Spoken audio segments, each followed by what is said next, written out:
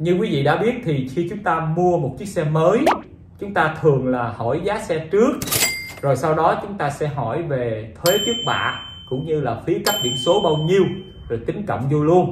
Ngoài ra thì chúng ta còn chịu thêm tiền thuê người khác đi làm thay các thủ tục giấy tờ. Và chúng ta cộng là một cục như vậy là ra giá lăn bánh. Cái điều này thì những người bán hàng luôn tính dùm khách hàng, và khách hàng sẽ là người chỉ nghe con số cuối cùng thôi còn nếu khách hàng tự đi thì cũng phải nên biết cho mình cái tiền thuế bao nhiêu để chuẩn bị sẵn trong túi và tiền cấp biển bao nhiêu để chúng ta cùng chuẩn bị luôn. Thì như vậy thì ngay sau đây clip này sẽ giải đáp cho quý vị hai vấn đề là mua một chiếc xe mới hoặc mua một chiếc xe sang tên thì chuẩn bị bao nhiêu tiền cho thuế trước bạ và phí cấp biển số nha mọi người. Nào, chúng ta bắt đầu thôi.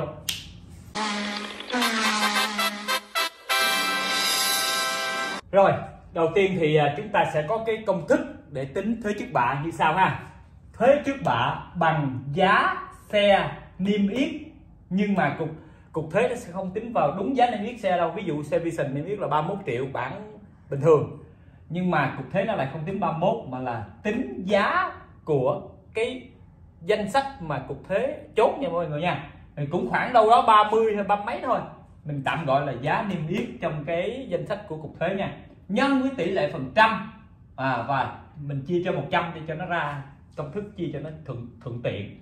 Thì tỷ lệ phần trăm này nó dựa vào như sau ha mọi người ha. Tỷ lệ phần trăm này có ba dạng. Dạng thứ nhất là thành phố thuộc trung ương trong đó có thành phố Hồ Chí Minh và Hà Nội thì là tính 5 phần trăm.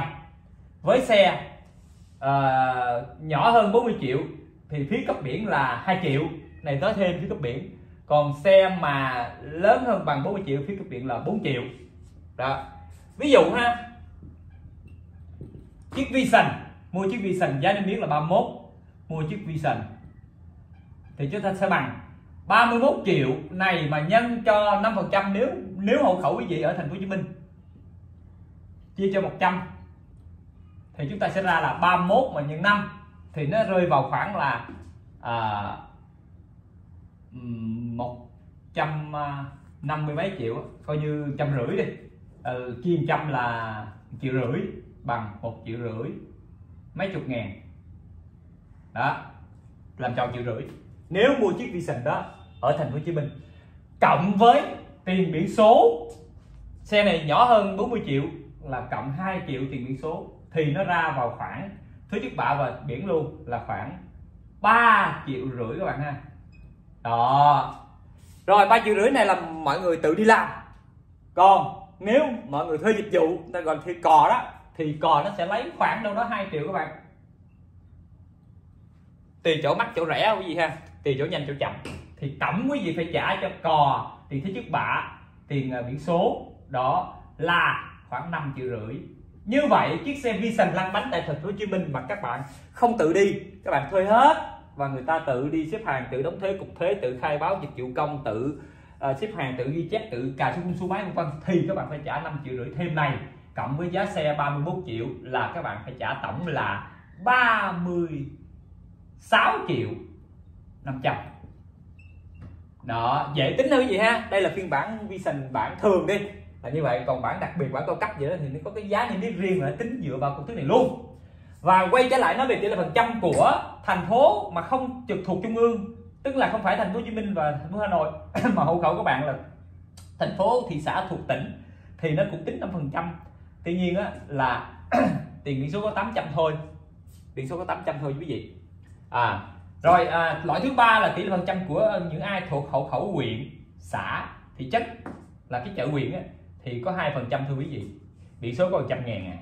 Còn bên này á là biển số 800 nếu xe nhỏ hơn 40 triệu thì biển số chắc cũng 100 á cái này thì không có nói rõ nhưng mà thầy trọng theo kinh nghiệm thì đâu đó thì à, cũng khoảng thu biển số rẻ mà. Nếu mà thành thành phố thị xã thuộc tỉnh thì nó rẻ nói chung là rẻ hơn thành phố trực thuộc trung ương.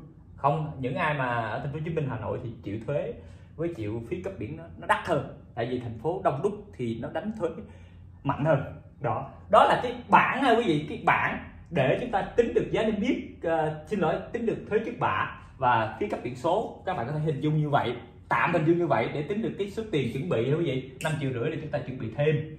À, à, nhân viên á, bán xe thì cũng dựa vào cái bảng này thôi quý vị ha. Dựa vào cái bảng này cũng như là người ta có một cái bảng à, công khai luôn. Nếu mà em nhân viên nào á, kỹ lưỡng á, các bạn anh nhân viên tự đánh thêm một cái file excel. Tự nó thêm vô đó. Còn đối với xe cũ một số bạn bây giờ mua xe cũ, không phải một số, mà cộng đồng như mua xe cũ cũng nhiều, thì nó sẽ có cái cách tính như thế này. Ừ, tính vào cái khấu hao trước cái đã các bạn. Khấu hao. Thì xe mà chạy ừ, chưa đầy một năm, tức là từ lúc mua đến, từ không đến một năm đi, thì là còn 90 phần trăm giá trị giá trị của giá nên biết ví dụ ha. 90 phần trăm nhân với giá niêm yết. Rồi, xe từ từ lớn hơn 1 năm đến 3 năm thì còn 70 phần trăm giá trị. Xe cũ tính thuế trước bạ xe cũ các bạn. Xe lớn hơn 3 đến 6 năm thì còn 50 phần trăm giá trị để tính giá niêm yết. Thứ tư, xe lớn hơn 6 đến 10 năm. Thì còn 30 phần trăm giá trị. Cuối cùng, xe lớn hơn 10 năm. Thì còn có 20 phần trăm giá trị thưa các bạn. Tới đây là hết rồi nha, không có, không còn thêm quy định nữa. Thầy chẳng ví dụ, tôi mua chiếc Vision bây giờ là tháng 10 năm 2024 chiếc Vision đó, thời điểm đầu đăng ký là tháng 8 năm 2020 Vậy dễ tính được lấy tháng 10 2004 trừ tháng 8 năm 2020 thì chúng ta sẽ tính được bằng là chiếc xe này đã chạy được 4 năm 2 tháng. 4 năm 2 tháng. Nó rơi vào cái khung từ 3 đến 6 năm, là còn 50 phần trăm giá trị vậy thì thế chiếc bạ xe cũ sẽ bằng 50 phần trăm nhân giá niêm yết. Tức là giá niêm yết là 31 triệu chúng ta 50 phần trăm của 31 triệu thì chúng ta còn 10 5 triệu 500 để tính giá thuế trước bạ.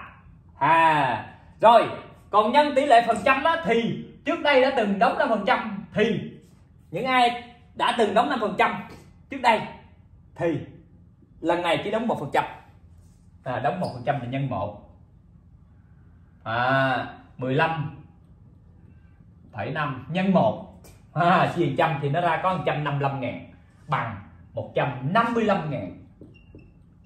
Để nộp thuế trước bạ xe cũ. Cũng hợp lý cũng rẻ quý vị ha. Tại vì xe đã còn có 50 trăm giá trị thì mình nhân có một phần trăm. Trước đây đã từng đóng 5 phần trăm. Còn nếu ai trước đây đã từng đóng hai phần trăm ai đã trước đây đã từng đã đóng hai phần trăm đây mà bây giờ chuyển xe sang tên về thành phố trực thuộc tỉnh hoặc thành phố trực thuộc trung ương, như là Hà Nội, Hồ Chí Minh, Hà Nội, thì sẽ tính 5%. trước đây đã đóng 2% thì bây giờ tính 5%. thay số 1 này thành số 5 vậy thôi.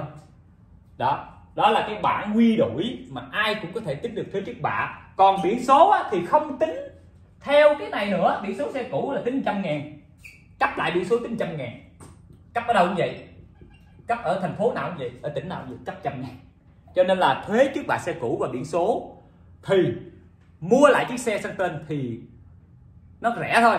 Nó cũng không đáng bao nhiêu cả. Nếu giá trị xe mà thấp thấp vài chục triệu, thậm chí có thể xe trăm triệu mà chạy 5 năm 7 năm thì nó cũng thấp thôi, cũng ba bốn trăm ngàn tiền thế chiếc bạ cộng với trăm ngàn biển số thì nó cũng chả đáng bao nhiêu cả cái gì ha.